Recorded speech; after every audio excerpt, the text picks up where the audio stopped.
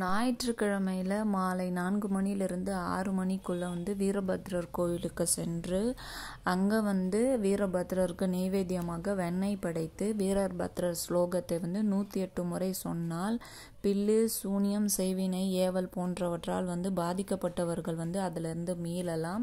வீரபத்ரரோட ஸ்லோகத்தை வந்து நான் இந்த டிஸ்கிரிப்ஷன் பாக்ஸில் கொடுத்துருக்கேன். நீங்கள் இதை பார்த்து நீங்கள் படிக்கலாம்.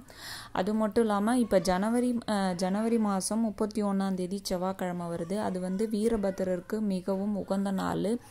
இந்த நாளில் போயிட்டு நீங்கள் வந்து வீரபத்ரருக்கு வந்து சந்தன அபிஷேகம் வெள்ளை நிற பூக்கள் சிகப்பு நிற பூக்களால் அர்ச்சனை செய்து வீரபத்ரை நீங்கள் வழிபட்டிங்கன்னா தீராத பகையெல்லாம் தீர்ந்துடும். தடைகள் த தகரும். நீங்கள் ஏதாவது ஒரு முயற்சி எடுக்கிறீங்க அதில் தடைகள் வந்துட்டு இருந்தால் இந்த வீரபத்ரரை போயிட்டு நீங்கள் இப்போ வரக்கூடிய செவ்வாய்க்கிழமையில் வணங்கினீங்கன்னா உங்களுடைய வேண்டுதல் நிறைவேறும். சத்ரு பயம் நீங் நீங்கும். அது மட்டும் இல்லாமல் முக்கியமாக ஏவல் பில்லு சூன்யத்தால் பாதிக்கப்பட்டவங்க வீரபத்ரரை வணங்கினா கண்டிப்பாக அவங்க அந்த அதிலிருந்து மீள்வாங்க. அது மட்டும் இல்லாமல் குடும்ப கஷ்டமாக இருக்கிறவங்க சம்பளம் வரல வேலை கிடைக்கலன்றவங்க வந்து இப்போ வரக்கூடிய தை மாத செவ்வாய் வந்து வீரபத்திரருக்கு உகந்த நாள். இந்த நாளில் நீங்கள் வந்து வீரபத்திரரை வணங்கினீங்கன்னா ரொம்ப ரொம்ப நல்லது.